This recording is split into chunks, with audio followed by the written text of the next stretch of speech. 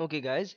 We have seen uh, the secondary structure prediction uh, using uh, Phyre which take a long time for predicting the secondary structure and projected model. But now let's see another very very reliable and also a technique which will which will give us the result in a blink of a second. Not actually blink of a second but in a in a moment right? Or in one minute or two.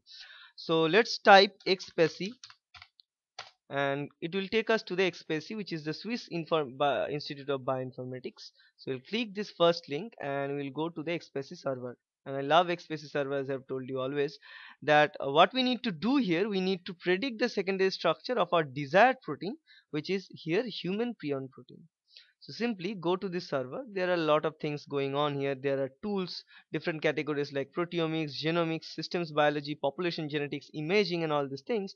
What we want here is a modeling of a protein sequence. And the modeling of protein sequence can be obtained here at the right hand side where you get the popular resources which is a uniprot kb and also swiss modeling. Now here we'll be clicking on this swiss modeling. So please focus on here. We'll be clicking onto the Swiss modeling link. It will take us to the Swiss model server. Now here it is in the Swiss model uh, server page. What we get here are the modeling types my workplace automated mode alignment mode project mode and all these things. What we'll click here we as we are not very much advanced we are just at the beginning of our bioinformatics practicals we simply click the automated mode not the project mode because for the project mode is for them who actually doing active research using bioinformatics. So they can modify the, their search according to their, their need. So we need different imaging process and programming. You must understand those things before going into this project mode. So simply click automated mode which is for you which is for us which are simple. So you click uh, this automated mode and here it is the page. In this page what we get here we get uh, we can provide the email address so let's put the email address. Here comes the email address. We put it. Project title. It's let's say uh, human prion protein structure. So this is our project title. And what we'll do we simply paste our sequence. Now this is the human prion protein. The sequence is in FASTA format that we have downloaded from the server from uh, NCBI so simply put this here. And here we can also in the advanced option we can give the protein data bank ID of that sequence that can give us a better uh, structure prediction. But we don't require this. These are optional. So we don't uh, always uh, we, we don't need to give them. Simply paste the sequence give a project uh, name and also give our email id and click on submit for the modeling. It will take our query and it will start to process this. So here uh, so system will run soon and it will provide us a result. And it is submitted. So it, this page will be updated after. So here for the result to be displayed click onto this page. So if we click this page it will redirect us to the result page.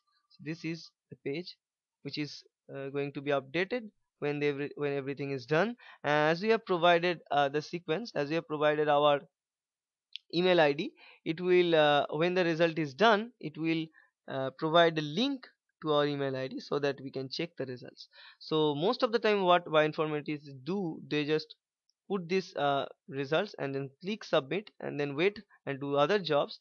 And meanwhile after one two hours and whatever time it will take if they go back uh, to their site and just uh, they, go, they go back to their email id and can retrieve the sequence from there by clicking the link that they have posted by this Swiss model workplace. Okay. So this uh, timing is depend upon uh, how many long sequence you are provided and all these things. If you provide short sequences then this will be processed soon. If you provide sequence of uh, 30 40 uh, amino acid sequence or 60 amino acid sequences the results will be uh, provided pretty soon. But if you provide long large sequences it will take some time. Okay. So need to wait for some time on the other hand this process is also running which is our Phyre uh, const uh, construction of the model using Phyre2 software. This is also running. So here it is. The submission of the status of the request is running now. It was previously simply submitted but now it's running. It suggested our sequence is running for matching the ideal modeling. So you need to wait for some time. So let us pause the video. Then when the process will be done I will resume the video here we go guys. Now that is the result they have shown us. It uh, took almost uh, one hour to get this result. So this is the predicted uh, secondary structure of human prion protein. So remember this is our job title. It was given here. And if you look click onto this page this image it will give us uh, the image. So let us allow the java applet to open.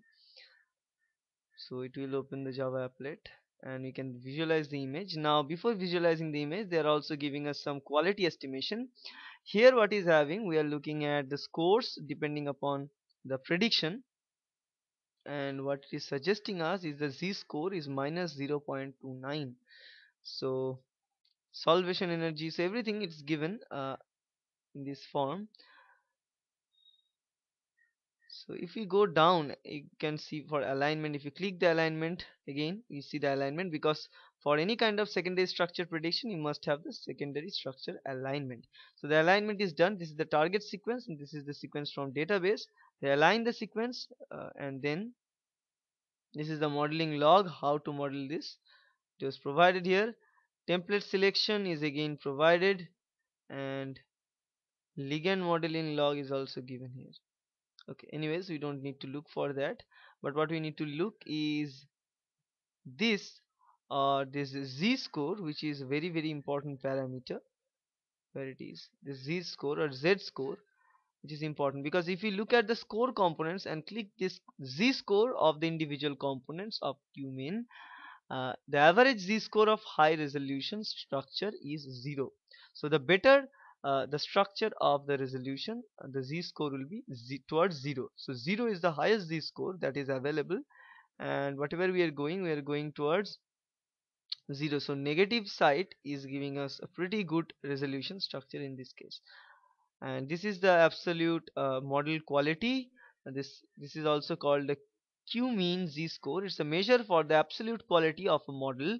The QMEAN score of the model is compared uh, to scores of high resolution reference structures solved by X-ray crystallography and the z-score is calculated here in this case. Okay. QMEAN score. What is QMEAN score? It is the global score of the whole model reflecting the predicted model reliability ranging from 0 to 1 so the score that we get here is higher for this one. All atom pairwise energy is very good.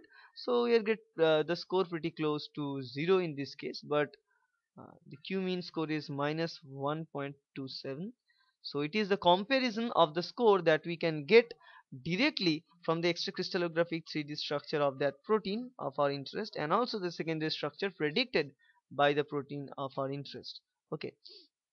And this is the residue error plot. Uh, by looking at it we can tell that where are the errors have occurred in our sequence at this particular site this is the residue number and this is the predicted residue error. The residue error is higher at the very beginning. So the residue uh, from 10 to 15 and again the residue error is least at the residue number 6 70 to uh, 80 to 85 range. Then again residue error becomes higher at the last. So n terminal and c terminal is having the higher residue error. Rest of the part are good residue uh, residue error is less now this is the picture of uh, the projected model of our uh, structure. As you can see in previous case with the Phyre uh, structure we get a different structure but here we can say another structure. Actually i recommend students to look for the Phyre structures because that structure is much more um, closer uh, than this kind of structure. Because we have seen the 3d structure we, we are going to see the 3d structure of it using pdb and you're, you're going to see that the structure will be more similar with the uh, structure predicted by Phyre instead of the structure predicted by this Swiss, model tool. Okay so we can save the png values and the z-score values. Uh, z-score value uh, nearer to 0 is good. Now we can see diffraction in z-score. So this prediction is not that much good. So we won't be won't be stick to this kind of prediction. We'll be taking this prediction by the Phyre.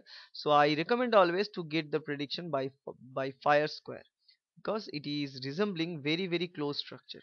So that's it. I hope this will help you. Thank you